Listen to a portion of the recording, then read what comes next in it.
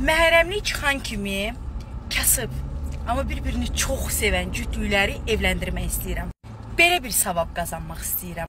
Bu zamana qədər ehtiyaclı sahiblərə çox kömək elədi izləyicilərimlə birgə, amma bu toyu sırf öz gücümə etmək istəyirəm. Qazilər olsa, şəhid ailələrindən kimsə olsa, daha çox sevinər.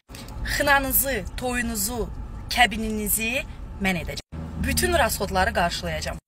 Fotoqraf, videoqraf, evinizdəki dekordan tutmuş toy albomunuza qədər hər şey mənli idi. Yetər ki, bir-birinizi çox sevin, evlənmək üçün can atın, gələcəkdə bir-birinizə sahib çıxın və qızınız olsa adını Sevinç qoyun. Şərhdə yazılan hər bir şeyi oxuyacağam.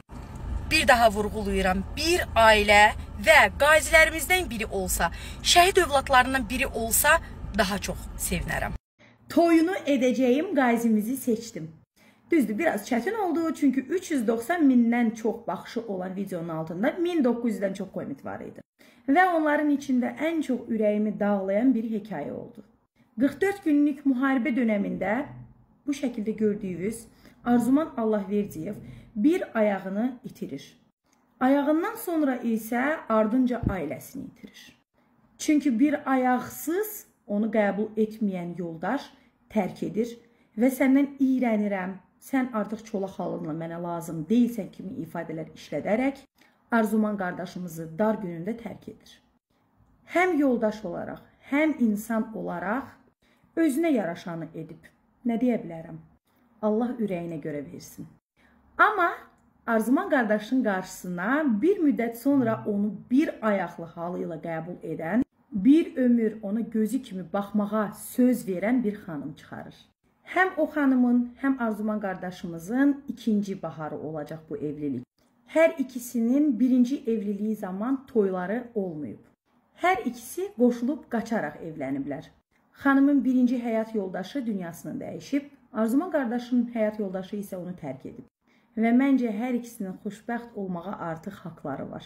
Mən də bu yolda onlara verdiyim sözü tutacağam. Bu andan etibarən toya hazırlıq başlasın deyirəm və hər şeyi ən gözəl şəkildə təşkil edib toyun tarixini sentyabrın 18-i təyin edirəm. Çünki həmin gün Arzuman qardaşımızın üstəlik ad günüdür. Qazinin toyu ləğv olundu. Sabah toy olacaqdı. Gəlinlik seçilmişdi, bəylik götürülmüşdü. Gəlin maşınından tutmuş gülünə qədər hər bir şey təşkil olunmuşdu. İnanın bu dəqiqə dilim e, söz tutmur, and olsun Allaha. Təzyiq dərmanı atmışam. E, sakitləşdirici, valeriana qədər içmişəm. Mən gün ortadan nələr ənəlləşirəm onu bir Allah bilir. E, mən şokdayam da sadəcə. Mən qazini bütün Azərbaycana nə biabır eləmək fikrində deyiləm, nə onun yanındakı o qadını 5 uşaq anasıymış. 5 uşaq. Onlardan cəmi biri ailəlidir, qalanı hamısı evdədir, subaydır və ən balacası 13 yaşındadır, 6-cı sinifə gedir. Və ən pisi də bilirsiniz nədir? Bu xanımın yoldaşının ili çıxmayıb və sabah gəlinlik geyinəcəkdi. Deyəcəksiniz, bəs niyə araşdırmamışdınız? Bilirsiniz nəyə görə? Mən o qazinin qeyrətinə arxalanırdım. Mən qazinin sözünə güvənirdim.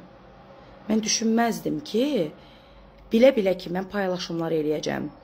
Mən ən azından bunların üzünü açıq-açıq paylaşacağam. Kimsə görəcək neqativ bir şey yazacaq. İlla ki mənim gözümü açmaq istəyəcəklər. Sadəcə kaş ki, kaş ki bir ayda bu qazinin toy teması gedir ortada. Mənə qabaqcadan uşaqları yazardı. Mən düşünün bu gün hər şeyi təşkil eləmişəm. Daha öncəki paylaşımları silməyəcəm. Qoy görsünlər. Gəlinliyinə qədər getmişəm. Uşağımı bağçaya qoyan kimi qaça-qaça getmişəm. Ən gözəl gəlinlik butiklərindən, ən bahalı gəlinliklərdən birini seçmişəm. Şəhərin ən gözdə salonlarından birində tanınmış vizajist bəzəyəcəkdi onu. Düşünün də hər şeyin ən yüksək səviyyədə zurna, davuluna qədər hər şey təşkil olunub və ən son anda qızı ilə danışmışam. Ağlaya-ağlaya deyir ki, biz deyir cəhənnəm, biz böyüyük artıq. Amma mənim 13 yaşlı bacım atası rəhmətə getməyinin mi dərdini çəksin, yoxsa anasının bizi atıb getməyinin mi dərdini çəksin deyir. Hələ də gözü yoldadır, elə bilir ki, anası gələcək. Mən təfərrüatları ilə sabah paylaşacağam. Qoy biraz sakitləşim. Çünki mən bilirsiniz biraz aqressiv insanam. Ağzımdan nəsə artıq bir söz çıxar. Sabah mən onlarla məhkəmə-məhkəmə sürünmək belə istəmirəm. Haqlı ikən haqsız duruma da düşmək istəmirəm. Allah ən azından şahiddir ki, mən bu toya necə ürəklə yanaşırdım. Heç nə. Sabah paylaşacağam. Səs yazmalarını, sübutları, hər birini. Sadəcə ar olsun övladını atan qadınlara və dünyada kim olur olsun, qazi olm olmasın, e? dünyanın bütün qeyrətli kişiləri yığılsın mənim balamın ayaq dırnağına qurban olsunlar. Mən balamı heç bir kişiyə dəyişmərəm.